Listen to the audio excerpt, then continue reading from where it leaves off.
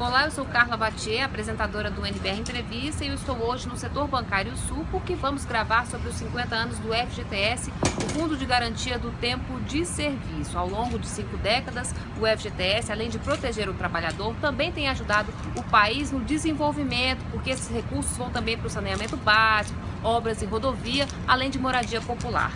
Bem, a nossa equipe está ali preparando o set de gravação.